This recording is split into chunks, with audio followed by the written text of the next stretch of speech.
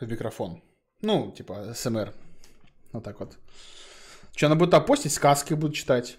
Ну, реально, я сейчас вообще не шучу, типа, ну, вообще не шучу.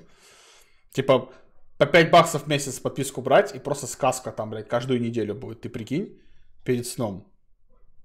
Как одетая. Блядь, охуели что ли, блядь? Не, маму, маму свою я...